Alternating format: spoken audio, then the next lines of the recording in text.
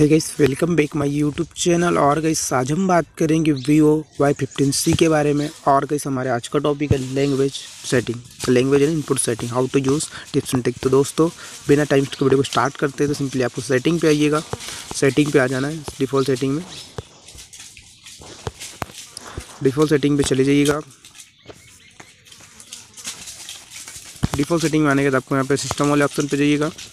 And यहाँ पे आपको लैंग्वेज एंड इनपुट का ऑप्शन देखने को मिल जाता है, इस पर क्लिक कर लीजिएगा सबसे फ़र्स्ट में ऑप्शन मिलता है लैंग्वेज का, इस पर आ जाइएगा ठीक है, इस पर आ जाने के बाद कुछ क्लिक अभी देख सकते हैं जो लैंग्वेज है इंग्लिश इंडिया तो मैं और एड कर देता हूँ, हिंदी करना चाहता हूँ।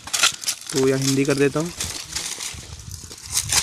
हिंदी, अब जो मैं, जो कि मेरे को यहाँ पे एक भाषा डिलीट करना पड़ेगा थ्री डॉट पे जाऊँगा रिमूव पे जाऊँगा इंग्लिश को डिलीट कर दूँगा डिलीट रिमूव हो चुकी है।